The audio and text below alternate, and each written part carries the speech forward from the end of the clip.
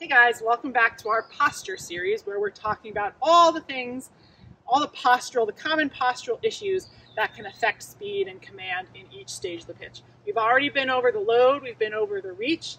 Today we're going to be talking about power K. Now for me, as I always say, power K is the most important stage of the pitch because it's where the pitch delivery begins, okay?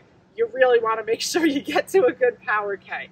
So, so far we've done the load, the one position of the pitch where we don't want to be vertically stacked, we want to be forward. We've done the reach where we do want to be vertically stacked. We want that leg drive, that hip drive. We want to be our height nice and tall. We want to be square. Now we're going to continue that push and glide off the rubber and we're going to land in power K. All right. So again, for me, power K, one of the most important stages of pitch. We'll scoot back, make sure you guys can see me. We want to be tall and stacked. Every stage after the load, we want to be our height. We want to be tall and stacked. My head is on top of my shoulders for a fastball, okay? My shoulders are nice and level, okay? My shoulders are on top of my hips. My hips my, are on top of my knees. My knees are underneath my body, okay? And I'm in my nice palm up, elbow down position here. This is my power K position where I can start my delivery with a nice clear arm slot, generating the most speed and command. So, postural issues that we can see in Power K.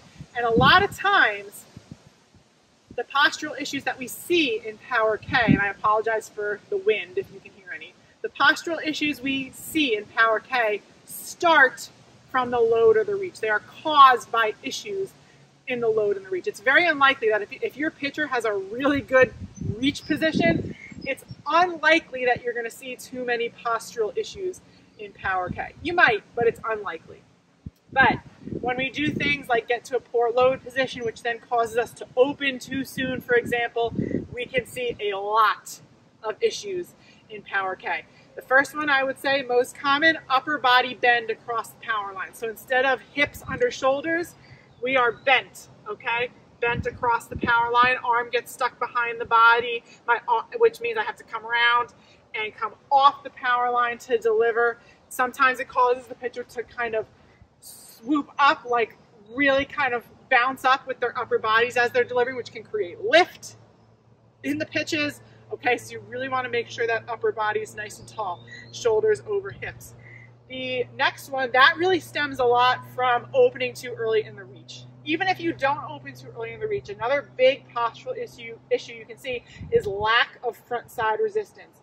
And what that means is your pitcher will either land with her upper body going really forward past the front leg, or she'll land with a lot of bend in that front leg. Front side resistance is critical, not only for maintaining posture, but generating your lower arm speed. Coach Phil did a post on this, you know, several weeks back. So if you're landing collapsed or you're landing with that upper body forward, you're going to essentially just be pushing and guiding the ball. You need that front side resistance to help generate lower arm speed and to help you whip and snap correctly. So when we land, again, we want to get the feeling of that front foot pushing down into the ground, keeping our weight back as we deliver. But a lot of times, again, a lot of that has to do with physical muscular strength, okay? Side of the hip muscles, glutes, core, okay?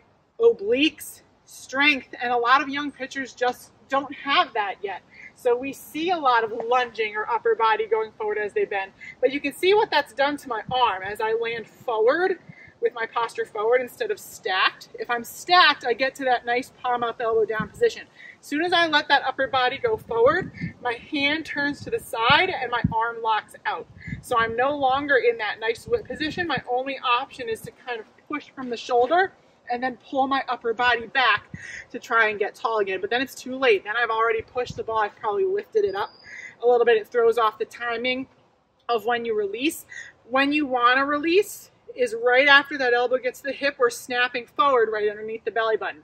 But probably 99.9% of the time when we have an upper body forward pitcher, we'll see them release that ball out past their front leg.